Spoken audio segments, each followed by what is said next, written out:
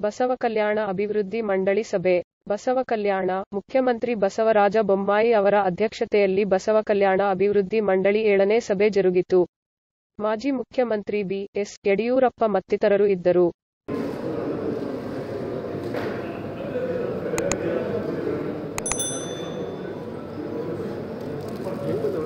ಅಲ್ಲಿ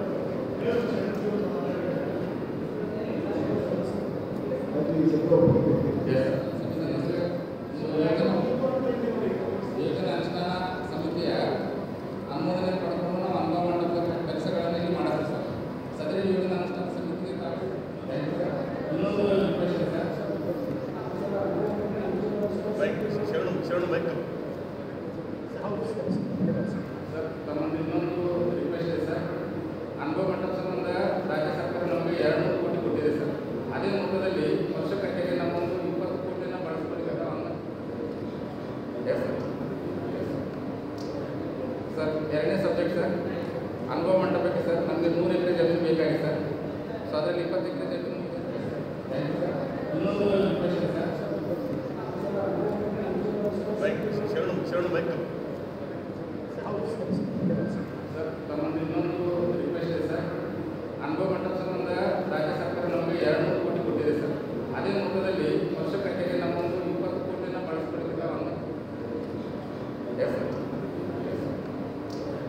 ಸರ್, ಎರಡನೇ subject sir.